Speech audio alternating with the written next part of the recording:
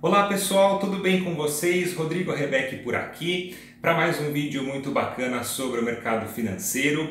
E hoje eu quero te dar uma dica sobre ensinamentos do Décio Bazin a respeito dos dividendos, tá certo? Então vem comigo para você aprender mais detalhes aqui sobre essa lição.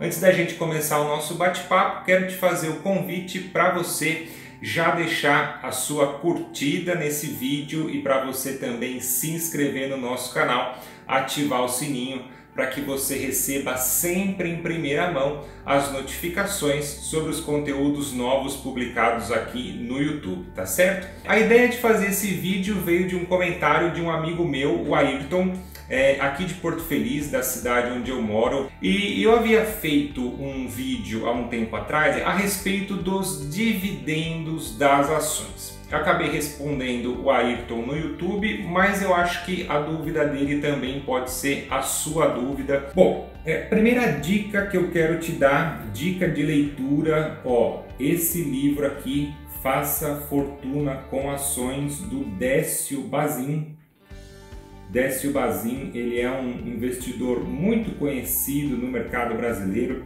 principalmente da década de 80 e da década de 90. E eu vou te passar a experiência, o conhecimento que eu tive, o que eu aprendi, a minha interpretação do livro, tá certo? Mas isso é, não exclui a orientação para você comprar o livro, para você ler porque eu diria que ele é um dos manuais aí dos investidores de ações no Brasil. Bom, é, o Décio comenta nessa obra aqui que ele sempre procurava é, investir em ações que pagassem dividendos de pelo menos 6% ao ano.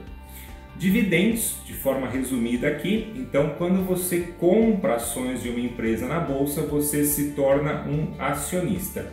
E os dividendos, parte do que a companhia fatura no ano, ela vai dividir o lucro com os seus acionistas. Então, é, você vai receber um dividendo proporcional à quantidade de ações que você tenha daquela companhia.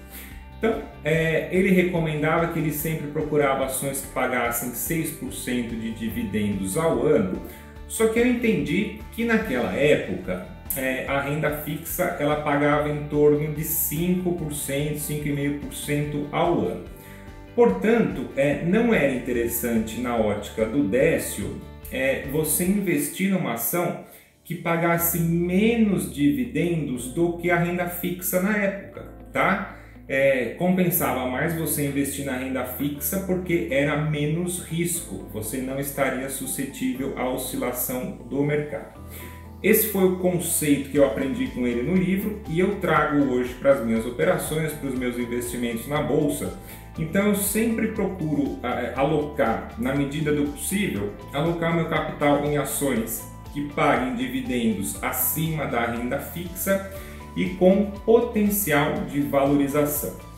Hoje, com a nossa Selic em 2% ao ano, é, está muito fácil, está muito prático de você achar companhias que paguem mais de 2% de dividendos ao ano. Tem casos na bolsa aí de empresas pagando 10% de dividendos ao ano, 12, 15, 6. Então você consegue ganhar é, 3, 4, 5 vezes mais do que a renda fixa, apenas alocando seu investimento numa companhia que pague bons dividendos.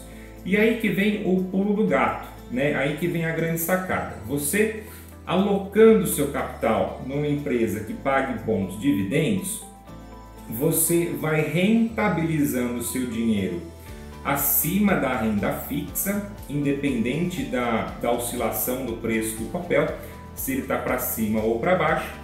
E se você entra numa ação que tem potencial de valorização, vamos supor, você comprou uma empresa que tem potencial de valorização aí de 40%, mas ela demorou dois anos para subir esses 40%, só que ela te pagava um dividendo de 10% ao ano.